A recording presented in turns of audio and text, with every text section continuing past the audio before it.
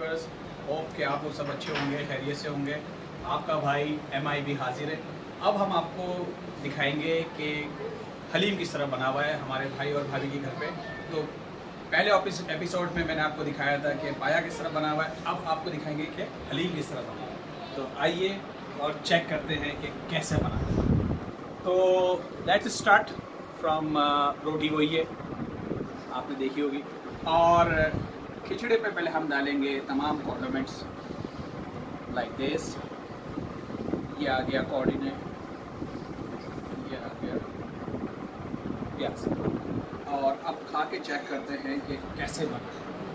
उम्मीद करता हूँ आप लोग भी सब इंजॉय कर रहे होंगे मिलन पार्टी तो ये देखें क्या ज़बरदस्त बना है। आहा। और अब ये खाए जाए।